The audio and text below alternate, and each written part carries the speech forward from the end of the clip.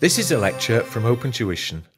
To benefit from the lecture, you should download the free lecture notes from opentuition.com. Chapter 16 revises net present value and internal rate of returns.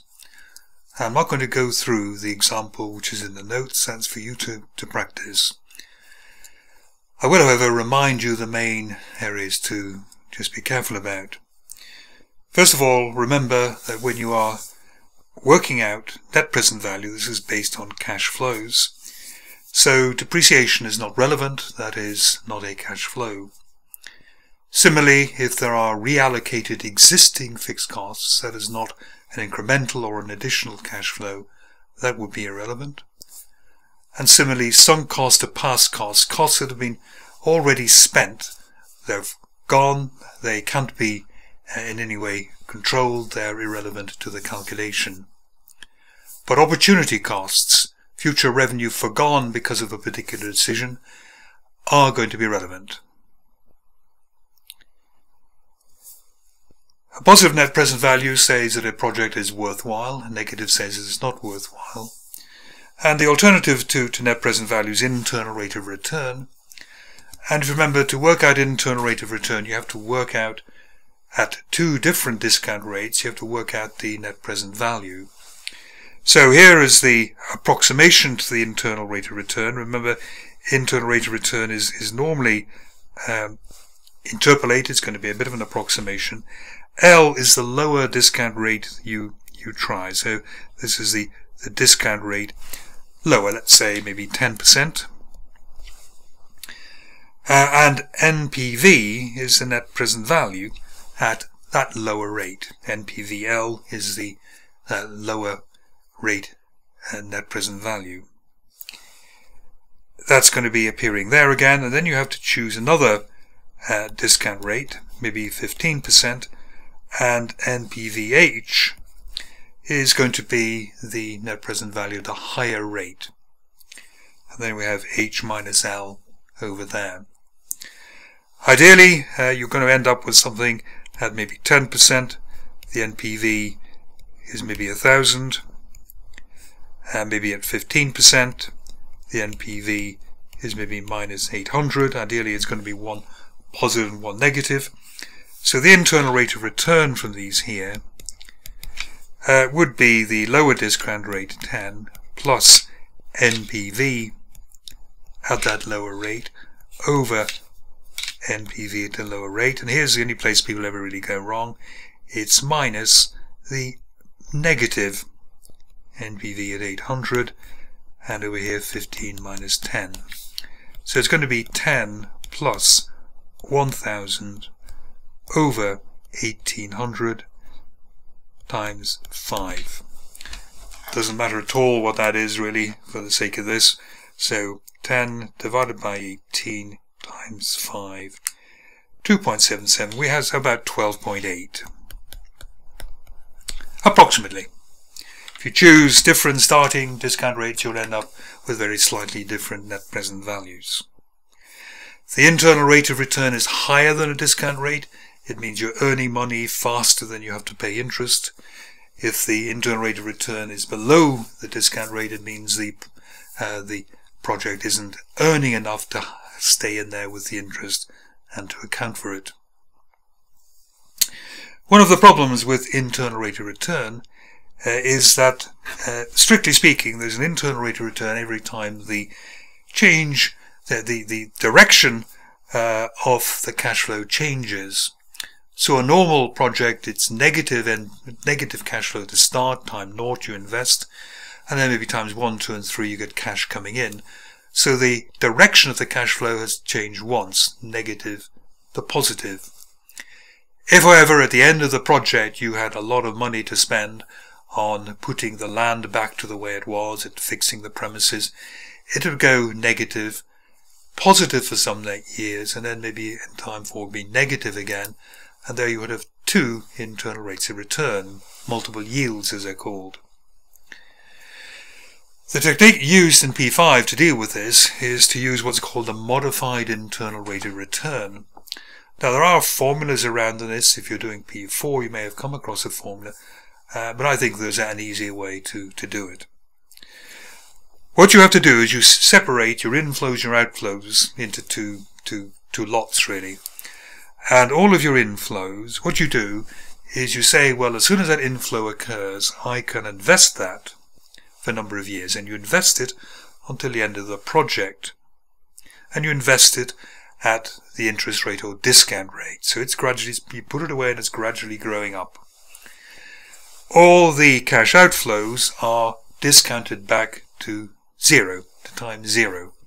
So you end up with two cash flows, a negative, all the negative cash outflows brought back to time zero, all the positive cash inflows projected forward to the terminal time of the project. And with these two cash flows only, then you can work out the modified internal rate of return. So, let's see a very simple example of this. This is not the example which is in your notes. Uh, I'm leaving that there for you to try yourself. The answer is in the back of the, the, the notes. So here we have the cash flows. Here's the time, 0 to 4. And here we have negative, positive, negative, positive, positive, a very eccentric sort of a cash flow. And the cost of capital is, is 10%. So the first thing we do is you go to the two positive or three positive cash flows.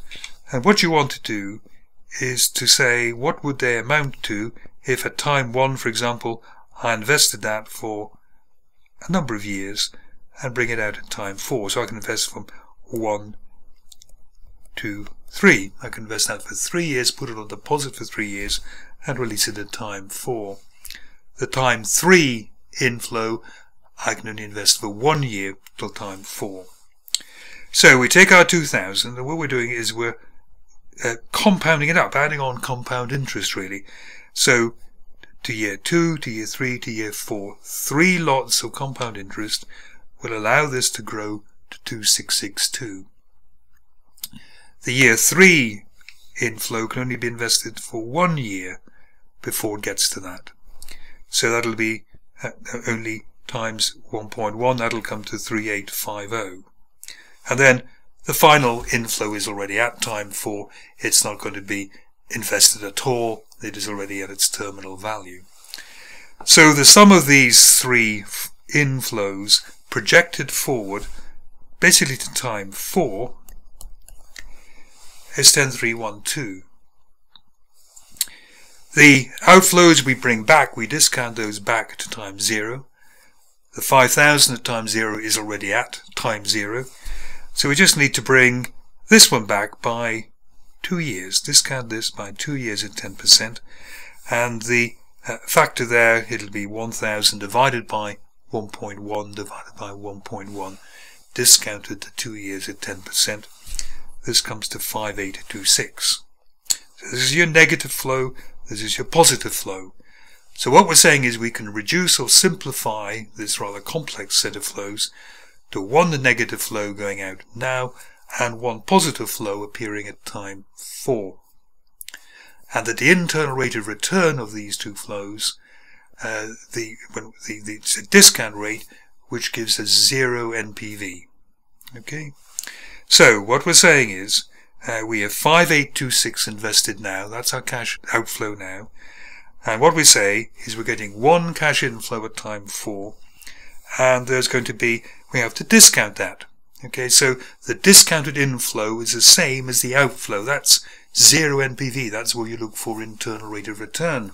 So, at the internal rate of return, the cash outflow times zero is equal to the discounted cash inflow at time four. So here we have 5826 equals the discounted inflow at time 4. We need to find, what we're trying to find is this 4-year discount factor, which makes those equal because the discount rate that's in that discount factor is going to be the internal rate of return. So if we divide this through, so we, are going to divide 5826 by 10312, that's going to be that. So basically we're saying 5826 divided by 10, 3, 1, 2 equals 0.56 0.5649 and that will be the four-year discount factor we need. And that is the four-year discount factor at a rate R, which here is going to be the internal rate of return rate. So what we need to do is to kind of turn that upside down. Uh, so we turn 1 over 1 plus r to the fourth upside down, it becomes that. And if you take 1 over 0.5649, it's 1.77. So here we have 1 plus r to the fourth is 1.77. We take the quarter root of uh, both sides, the, the, fourth root, uh, so that will simply come to 1 plus r, and we need 1 plus 77 to the quarter, or to the, you know, take the square root, then take the square root, is what you're going to be getting to, and we're left with 1 plus r equals 1.15, therefore r equals 0.15, or the 15%.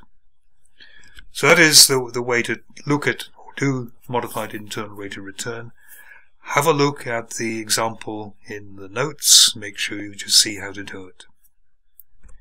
And finally, here are the questions which are suitable for you to try relating to chapter 16.